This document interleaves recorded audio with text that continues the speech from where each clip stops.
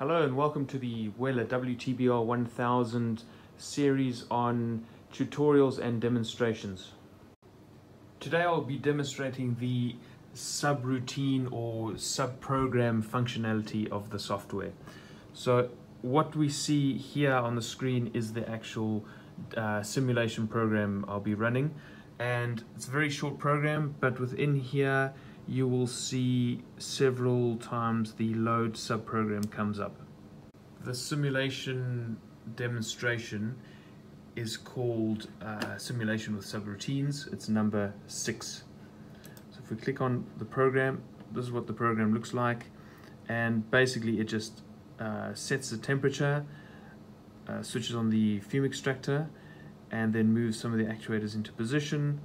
Because it's a simulation, we need to just check that the drawer is closed and then it loads subprogram 1 which is uh, the de designated subroutine for the cleaning cycle.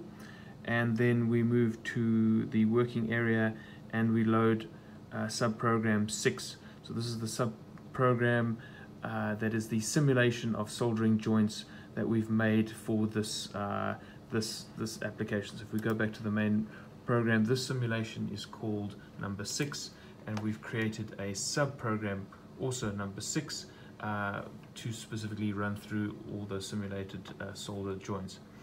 Once it's that, run through that sub-program, it will then, uh, it goes back to the, the, the start position or the cleaning position, and it actually just runs a little sub-program at the end there, which I just happen to call 61, and it's literally just a, a resting um, subroutine and we'll see how that works in a moment.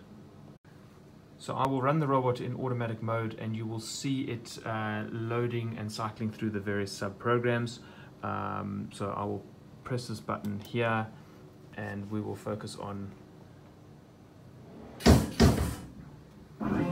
the different programs. So it's, so it's busy running a uh, sub-program, as you can see there, which is the cleaning program clicks back to the main program, then goes to the, the next sub-program, which is the simulation program called sub-program 6. Goes back to the main program, and then loads this, this last sub-program.